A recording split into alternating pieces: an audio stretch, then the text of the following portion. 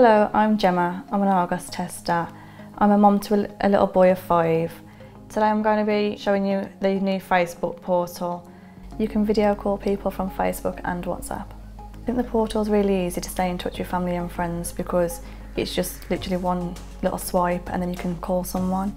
Now I'm going to make a call to my sister-in-law Kelly. Hello. Hello, can you see me? Hey, you okay?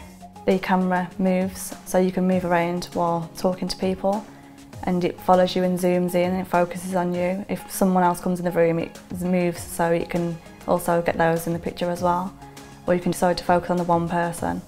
Online privacy and security is important for my son to speak to his dad because his dad works away. It is ideal to like have a password on everything so he can't access and call people without me knowing. There is a switch that you can slide and it turns off the camera. If you slide it the second time, it turns off the camera and the microphone. It's also a cover that covers the lens. You can still continue talking while the camera's covered.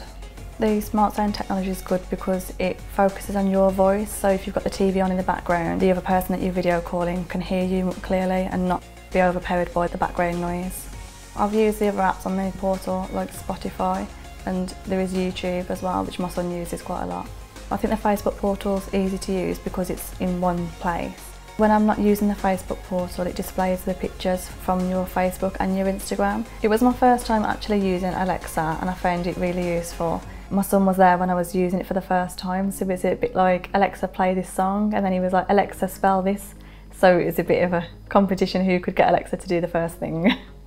I would highly recommend it to friends and family, especially if you've got family that live far away so you're not able to speak to them as often. We use video calling a lot in my house.